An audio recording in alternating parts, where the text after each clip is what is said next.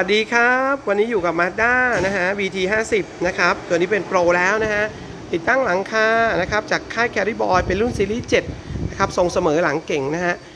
เอามาดูนะซีรีส์7หน้าตาเป็นแบบนี้ครับ นี่ครับอ่าซีหัวเรียบร้อยนะฮะซีรีส์7จะเป็นรุ่นที่เป็นบานผลักนะฮะ ตรงนี้จะอาศัยผลักเอาเหมือนกระจกแคปนะครับ ส่วนด้านหลังก็จะมีไฟเหมือนกับ G3 นะครับ โอเค เปิดไฟหลีครับ เราจะเห็นว่าเวลาเปิดไฟหลีนะจะเห็นไฟด้านซ้ายและขวานะครับ ขึ้นแบบนี้เลยนะฮะแต่ด้านบนยังไม่มีนะฮะแตะเบรกครับพอแตะเบรกข้างบนจะขึ้นด้วยนะฮะเราจะเห็นว่าด้านบนขึ้นด้วย แล้วก็ความสว่างของไฟเบรกจะเพิ่มขึ้นนะฮะแล้วก็มีกุญแจล็อกได้นะครับ เดี๋ยวจะให้ช่างดูให้ครับปล่อยเบรกครับโอเค ในขณะที่เราปล่อยเบรกไฟหลียังคงติดเหมือนเดิมนะครับ ล็อกให้หน่อยฮะเปิดเปิดฝาแล้วเช็คดูด้านในฮะอันนี้เปิดฝานะครับ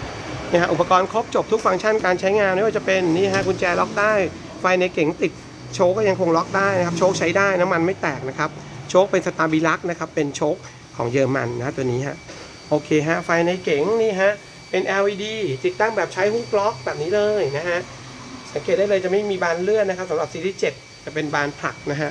งานสวยๆแบบนี้หลังคาทรงเสมอสำหรับใครที่กำลังหาอยู่นะฮะ